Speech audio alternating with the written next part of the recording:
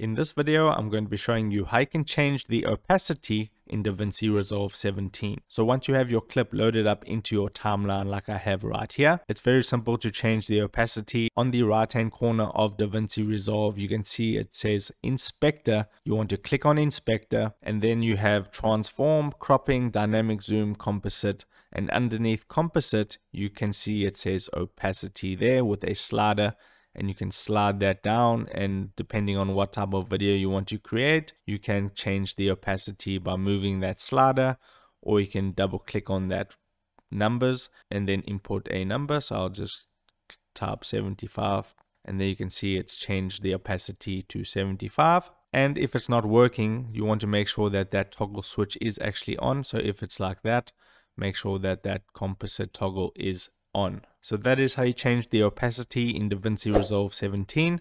If this video helped you out, don't forget to like this video and subscribe down below and I'll see you in the next video. Take care.